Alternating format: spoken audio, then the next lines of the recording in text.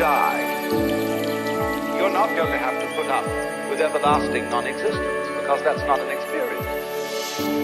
A lot of people are afraid that when they die, they're going to be locked up in a dark room forever.